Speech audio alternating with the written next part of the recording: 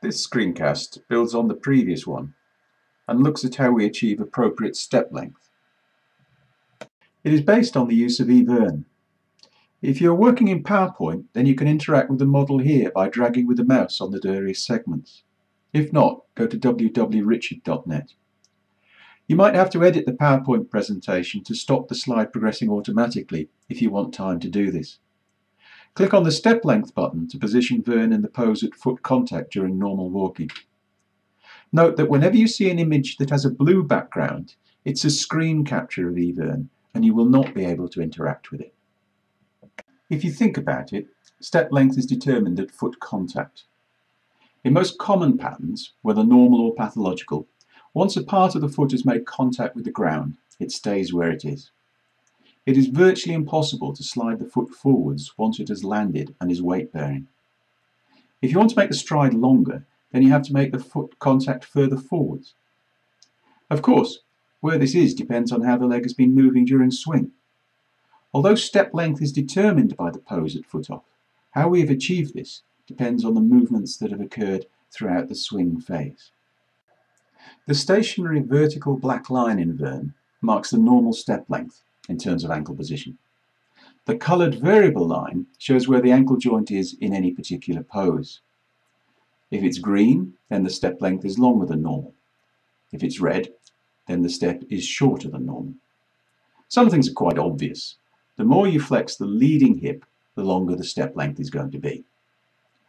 The more extended the trailing hip, the longer the step length is going to be.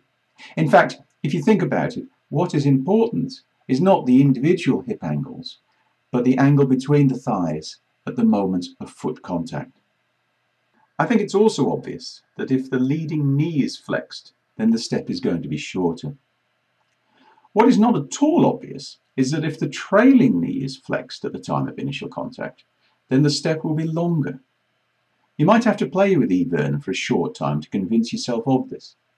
By tilting the femur and body backwards, you are allowing the leading femur to reach further forwards before foot contact occurs. If we actually do some mathematics, we can work out just how much longer a 10 degree difference in each of the joint angles at the time of foot contact will make the step length. As remarked, the angle between the two thighs is the most important determinant of step length, leading to a 21% increase in step length for 10 degrees difference in thigh angle. If you want a decent stride length, you really have to extend and flex your hips. Flexing the leading knee reduces the step length by a little less than half as much as reducing hip flexion by the same amount. Flexing the trailing knee increases step length by a similar amount. Allowing the trailing heel to rise has a small effect, but not very much in comparison to the knee and hip joint angles. From a clinical perspective, it can be seen that step length will be increased most easily by concentrating on hip movement, with some refinement being achieved by knee movement. Although we're dealing in two dimensions, it's reasonably easy to calculate how much effect pelvic rotation will have on step length. You can see this is actually quite modest. Contrary to what most clinicians think, pelvic rotation only has a very small effect on step length. This is because the hips are actually quite close together and quite large angular movements are required to affect step length significantly. It is only in patients with the very shortest of step lengths that pelvic rotation is likely to influence step length significantly. We can use what we have learnt in this screencast to see how the requirements for an adequate step length are reflected in the gait graphs. Step length is primarily determined by the difference between hip extension in the trailing limb and hip flexion in the leading limb at the instant of foot contact. Remember that because of the way the gait graphs are formed, you need to look at different time points on the left and right traces to assess this. Hip extension for the trailing limb is indicated opposite foot contact, whereas hip flexion for the leading limb is indicated at foot contact. Step length is also helped by good knee extension at foot contact, but we already have this. Some trailing knee flexion at opposite foot contact is also beneficial. It can be seen that this brings our knee curve a little closer to that found in the normal data.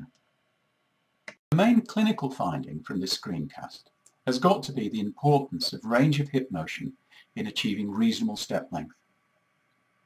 In many patient groups, reduced range of motion at the hips is the most likely cause of reduced step length, and increasing hip movement is the most direct way to restoring this. It is quite obvious that patients will benefit from achieving more hip flexion at foot contact, but we need to remember that achieving hip extension on the other side is equally important. Excessive knee flexion at foot contact will often be more obvious and may well be a contributory factor, but shouldn't distract from a primary focus on the hips.